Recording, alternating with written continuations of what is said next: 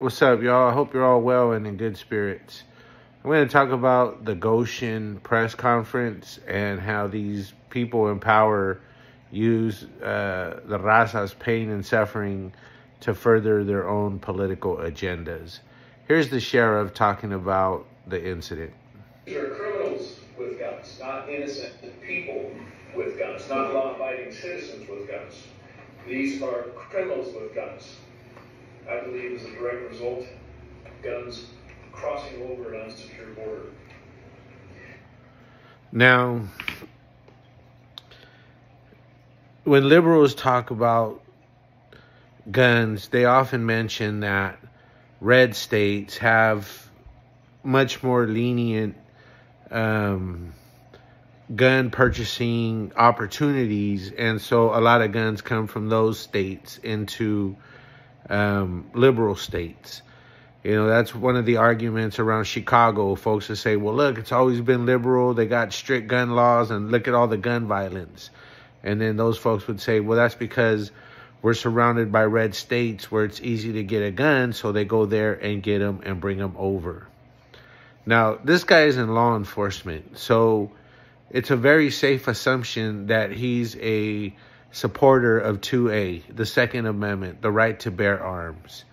And when he says unsecured borders, it's also a safe assumption that he's not talking about red states.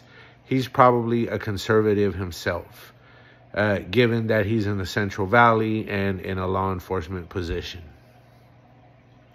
So, why would he say that?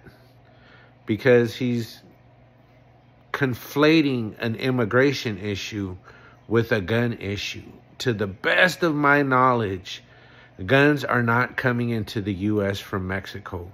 To the best of my knowledge, and not based on any personal experiences, on people I know, on private conversations, strictly on literature searches and uh, the like, you know, watching TV, uh, documentaries, guns go to Mexico and money goes to Mexico and drugs flow this way and other contraband, what have you.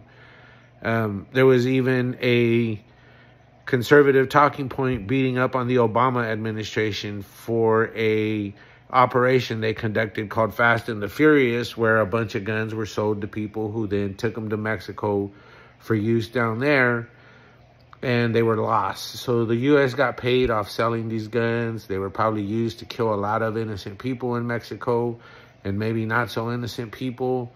And so the understanding is that guns go from here to Mexico and not the other way. So why did he say that? Because he was trying to push a political agenda that had nothing to do with that incident.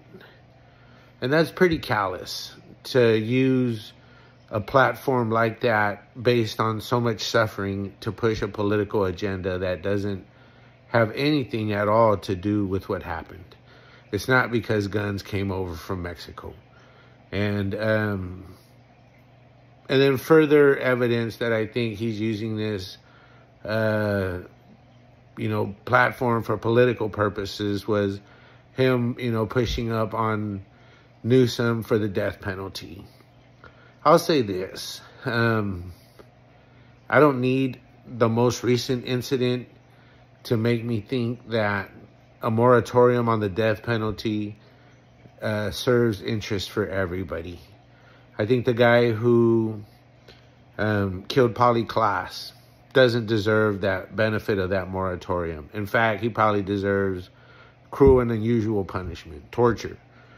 Um, you know, I would give Gavin props if he brought that back just for Richard Allen Davis, who did that to Polly Klaas. I don't need this incident to make me say, hey, that moratorium um, denies justice to people.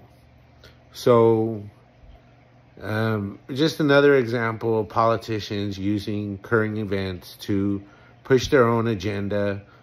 They don't give a shit about, you know, the people arrested or the people killed what else are they going to say besides, oh, our heart goes out to these kids? They have to say that shit. They really cared, they wouldn't be trying to make this an immigration issue when it's not. Have a good one.